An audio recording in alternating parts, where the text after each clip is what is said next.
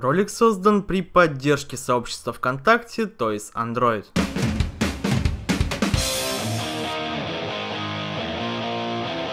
Привет, дорогие друзья, у микрофона, как всегда, Горин Илья, и это мой Игродень. Сегодня поиграем в очередную игру про зомби. Поехали!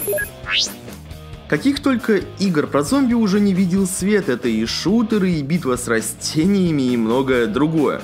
На этот раз мертвецы превращаются в ниндзя. Да-да, вот такая наркомания от ребят из Экзотика ВГ.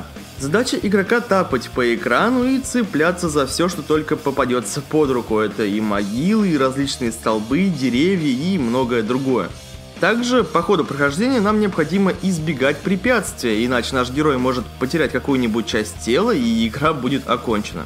В игре нас ждет огромное разнообразие уровней, привлекательная графика, затягивающий геймплей, бонусы, крутое звуковое сопровождение и монеты. В общем, есть все, что и должно быть в хорошем таймкиллере. Игрушка, кстати, не такая простая, как может показаться на первый взгляд. На некоторых уровнях пришлось много потратить времени и нервов. Но все-таки ниндзя-зомби цепляет, и это круто. Игра мне понравилась, и поэтому вот решил с вами поделиться. Доступны ниндзя-зомби абсолютно бесплатно, ссылка будет в описании под этим видео. А на этом у меня на сегодня все, ставьте лайки, пишите комментарии и обязательно подписывайтесь на канал.